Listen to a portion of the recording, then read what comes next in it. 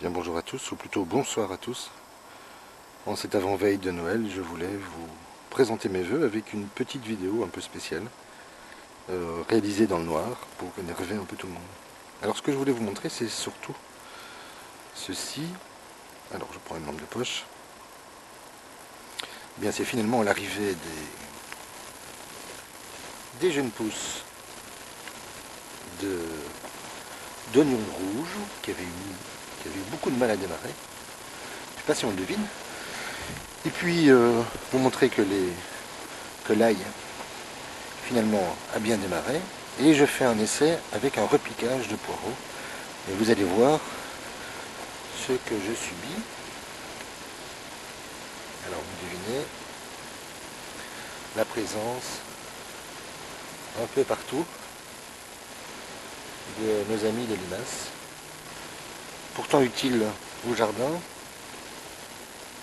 euh, nécessaire pour la décomposition de, la lignine du bois. Et malheureusement, elle, euh, s'attaque aux, végétaux.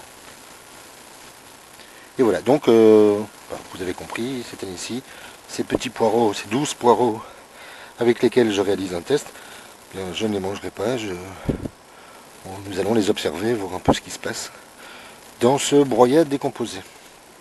Alors je vous propose non pas de faire un tour avec vous du jardin, parce qu'évidemment on n'y voit pas grand chose, mais de vous montrer ce que, ce que donne cette serre qui a été aménagée en partie, qui n'est toujours pas terminée. Et voilà, je vous montre... Euh, allez, je vous tiens pas longtemps aujourd'hui, je vais simplement vous montrer un petit peu l'intérieur. Alors je me déplace en essayant de ne pas tomber. Ah oui, je vous montrerai euh, ceci. Donc j'ai augmenté un peu la surface du, terrain et j'ai réalisé un nouveau bac. Euh, mais ça je vous le montrerai dans une prochaine vidéo. C'est un bac, euh, comment dire, sur couche chaude, à base de, de, fumier de cheval compressé. Mais ça je vous montrerai pour, dans une prochaine vidéo et sur lequel je vais y placer ce broyat euh, décomposé qui a un an. Puis je vous montrerai également euh, ceci que j'ai refait. Je vous expliquerai euh, à quoi ça me servira.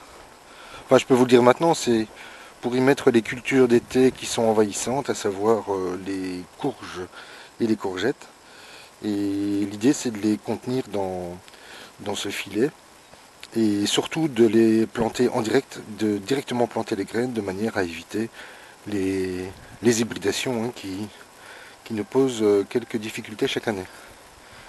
Alors, je me dirige vers la serre.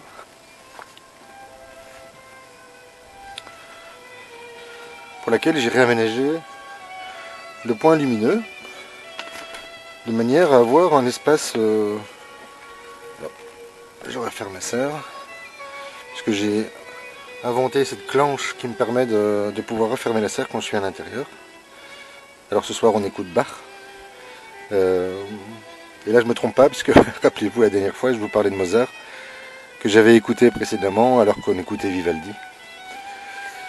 Et donc euh, voilà aujourd'hui je me trompe pas. Euh, de quoi qu'est-ce que je peux vous présenter? Ben ceci vous vous souvenez que j'avais récupéré peut-être euh, ce morceau de bois en forêt qui est percé en fait, des deux côtés. Je sais pas si vous le devinez. Et l'idée c'est d'en faire un, nichoir, un nid avec un nichoir. Donc je vais conserver tout ceci. Puis nous verrons bien ce que ça donnera, si euh, ce sera efficace ou pas. Alors qu'en point de lumière, ben, j'ai rajouté deux LED qui se tiennent l'un à l'autre, vous voyez. Euh, pour vraiment une, petite somme, mais qui me permet d'avoir un point de travail euh, le soir, en fin de journée, quand je rentre du travail, pour pouvoir bah, lancer mes semis. Alors ça, c'est, je vais vous montrer la terre que j'utilise pour mes semis. Hein, je vous avais parlé de ce bac dans lequel je l'ai réalisé. Donc voici cette fameuse terre, ce fameux mélange, réalisé à base de, compost, de, de tourbe et de... Alors on voit pas très bien évidemment et de de terre de poule. Hein. J'ai nettoyé une partie de... Alors je vais essayer de vous, la montrer. Vous voyez la qualité de cette terre?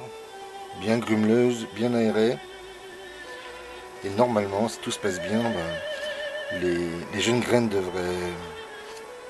Enfin, on trouvait dans ce mélange un, milieu humique adéquat. Et si tout se passe bien, avec l'aide de la chaleur, puisque je vais devoir installer un point de chauffe dans cette serre, mais nous en parlerons une prochaine fois.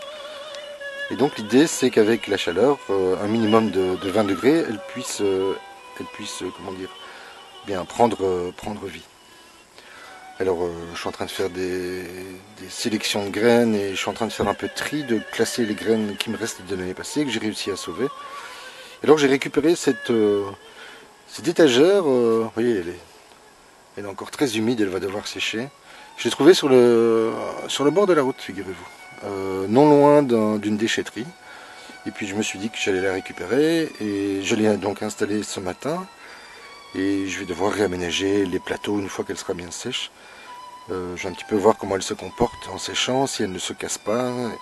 Et puis je la renforcerai et puis, voilà, je m'en servirai pour euh, exposer mes plantes à la lumière et à la chaleur. Alors j'ai réalisé d'autres semis. Oh, C'était pas très intéressant de vous les montrer, mais vous voyez, ça, ce sont les semis de merveille des marchés, qui est une salade euh, qu'on réalise, dont on lance le semis en hiver et qui sera dès, les premiers beaux jours, à la fin du mois de février, début du mois de mars, elles iront directement dans la couche chaude que j'ai préparée.